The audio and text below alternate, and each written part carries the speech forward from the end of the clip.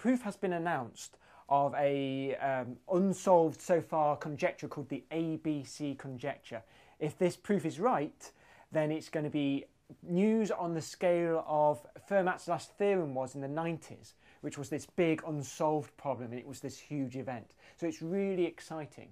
Um, we don't know if this proof is right yet, so uh, a Japanese mathematician called Mochizuki has uh, released these papers, and altogether it's 500 pages long.